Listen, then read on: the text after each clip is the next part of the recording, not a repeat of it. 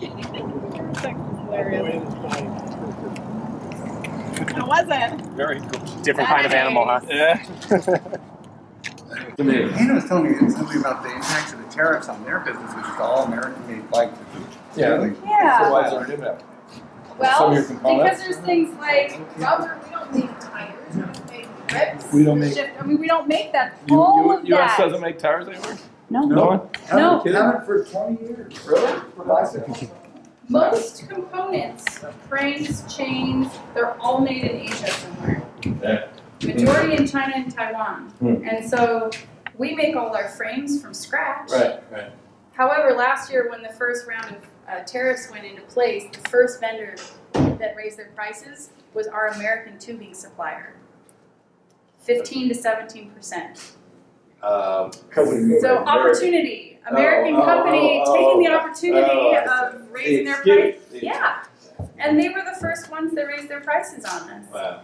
The Chinese companies actually waited the longest Mhm. because they were hoping the tariffs would go away and Right. they knew it would hurt their sales. So they Right. waited six months before they changed their pricing.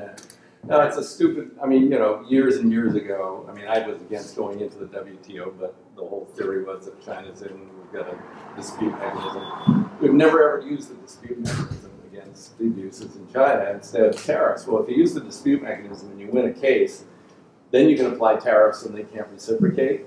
But, you know, they're reciprocating because, you know, I mean, so it's like we're getting into this trade war, which is just going, I don't know where it's going and stuff.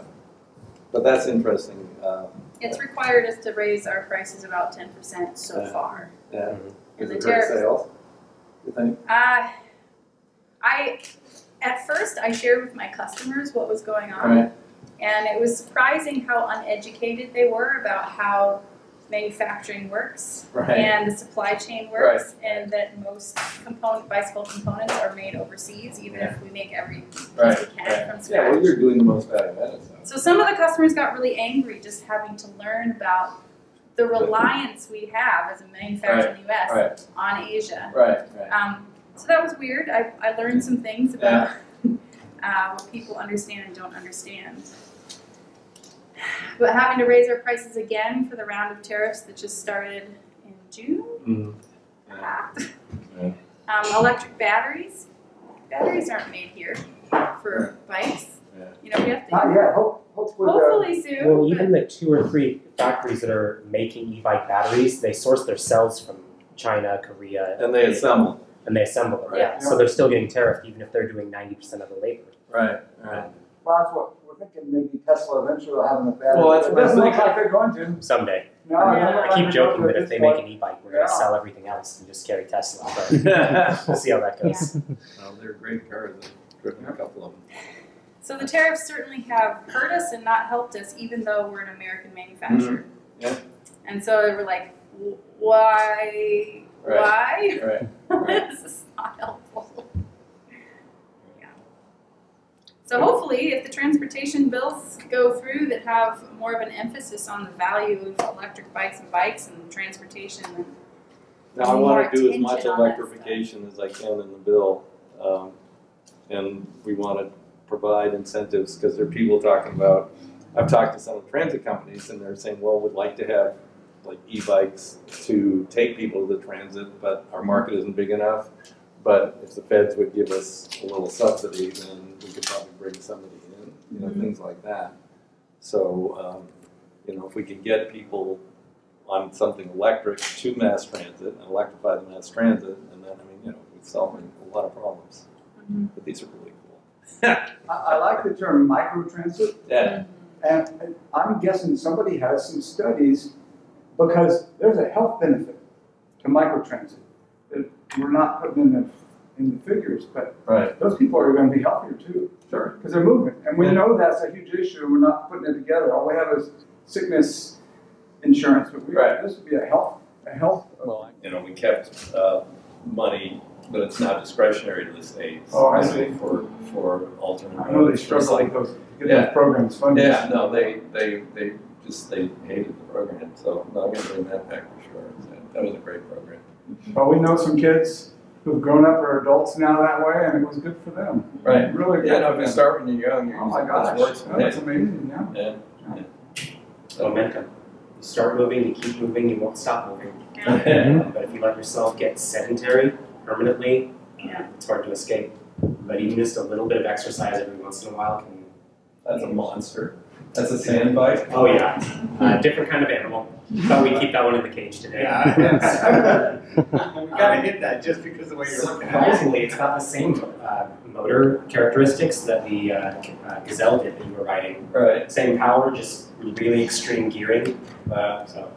Take it to the beach, though, Well, or Central Oregon. We actually have quite a few I guess so. uh, hundred spy bikes like that. Huh. We'll take a big fat tire bike out in the wilderness, um, and then No, not the wilderness. In the, in the, The wilderness, And we yeah. don't allow them in the wilderness. Yeah, I always tell them to check with the trail manager Right. because for BLM lands, federal lands, it's really hit or miss uh, depending on the trail manager. Like the uh, Oakridge trail managers actually use e-bikes to patrol their trails, check and No, stuff. no, I mean, the trail, the Forest Service BLM trails are fine, we just don't allow any, any uh, mechanical things. Yeah. Sorry, wilderness for me is the, the general term. unless Yeah, the yeah, exactly. Yeah. We're, we're, we just had a big fight over that, over whether or not we would allow uh, bikes in the wilderness. Yeah, no, they're like, they'll tear it up, it's like anything.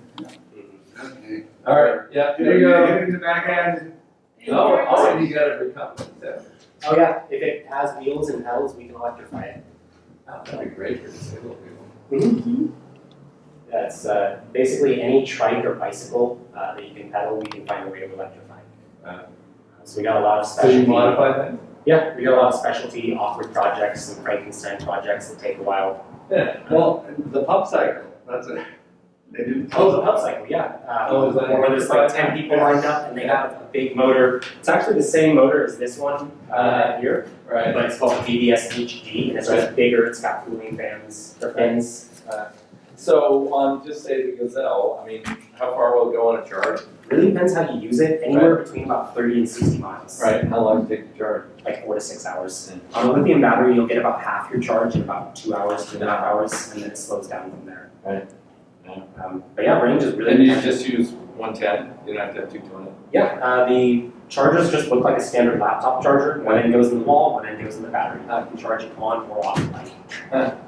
I have, uh, bought myself a little solar panel and put it on my roof and I ride full, uh, solar nowadays. And that's all it takes. So I have a a battery at home that the solar charges and I hook it up with the inverter. So you All- take all the cheap. battery in and out of the bike? Nope. Or No, not? no, I just bring the bike in and plug it in. I have an inverter off of the battery that, I- that I'm charging from the solar. But it's, just a- it's a standalone system that costs maybe two hundred dollars and I'm hundred percent solar, buddy. That's great. Yeah. Yeah.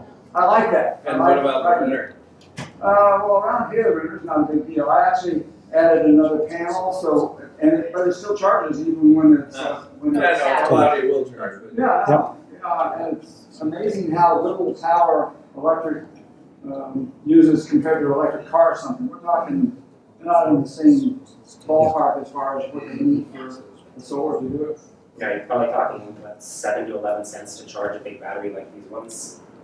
Yeah. Just minimal energy cost. In a week's worth of riding, ish, you know. The grid's So- not gonna rec- uh, recognize it if, uh, everybody would electric bikes, it's, it would just be a blip compared to their stoves or heating or anything Right. else. Well. Yeah. Okay, well, great.